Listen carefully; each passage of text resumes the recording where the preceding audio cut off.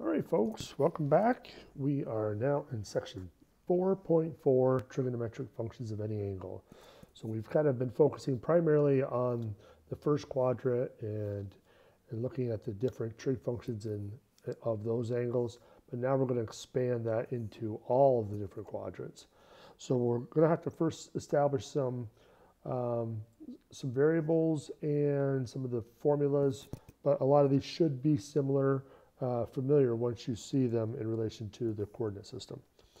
So the first thing uh, we have theta is going to be our angle and it's going to be in standard position. So remember the initial side is the positive x-axis and the terminal side could be in any of the different quadrants.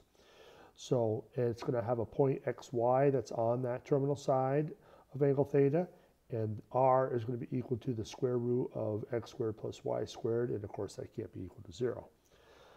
Given all those different things, we can now establish our formulas. So sine of theta is y over r, cosine x over r, tangent is going to be y over x, cotangent x over y, secant r over x, cosecant r over y. So again, we can't have y be equal to 0 in these cases, and of course we can't have x equal to 0 in these cases. So, but again, these other three will be easy because they're just the reciprocal of the first three.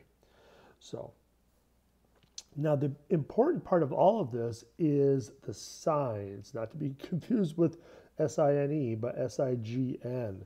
So the signs of X and Y is going to be important for this application. So now the one thing we should remember from before is that we know the signs in those various quadrants because remember sine is related to the y values and cosine is related to the x values. So that's how these signs, S-I-G-N, S, are determined. So now, if we go into our first problem, not really a lot here, but there is a drawing from the textbook, so I already stole that and put that into the notes. And the question simply wants to know what are the six trigonometric functions for this picture. Now, because we already have x and y, the only thing that's lacking would be r. So we first need to find r, and I think we can quickly see that if we plug everything in, that's going to give us the square root of 25, which is 5. So r is 5.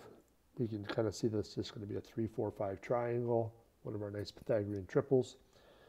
So let's plug and jug. So if we want the sine of theta, that's going to be y over r. So y in this case is 3, r is 5. So 3 fifths. Cosine should be x over r, so x is 4, so 4 over 5. Tangent should be y over x, so 3 over 4. And then cotangent, oops, so if I make a t there, it's just going to be the reciprocal, so 4 over 3. And then we have the secant, which is the co uh, the reciprocal of cosine, so 5 over 4.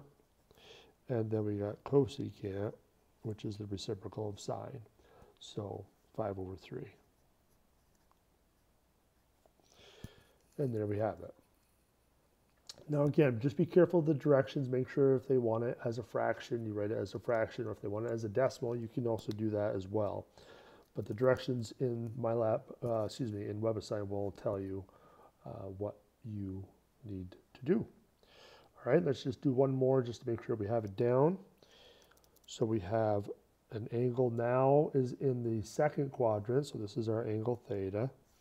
It's in the second quadrant, and so we can see that the x value better be negative and the y value is positive. So that is going to affect our answers a little bit. So we should have our r first. I'm jumping the gun here. So we want to make sure we get r first. So just be careful. The negative is going to be included when you square it, so it changes it to positive. And so if we square root 64 plus 225 looks like square root of 289. If my memory serves me, that might be 17. So now we have our, so now we can get our trig functions. So uh, sine should be y over r, so 15 over 17. Cosine is going to be x over r, so it will be a negative value. And then tangent should be y over x. So 15 over negative 8, or let's just make the whole fraction negative. negative, negative 15 eighths. And let's keep going. So we got cosecant. Doesn't matter what order you do these in, just as long as you know which ones give you which values. So remember, cosecant is related to sine, so we just have to take the reciprocal. Then we got secant, which is going to be the reciprocal of cosine, so negative 17 over 8. And last but not least, cotangent, which should be negative 8 over 15. And that wraps that up. So pretty quick once you get your R. Make sure you get that first, and then you should be able to answer all those trig values. So that is a good place to stop for this video. So we'll jump into more exercises in the next one. So see you in a minute.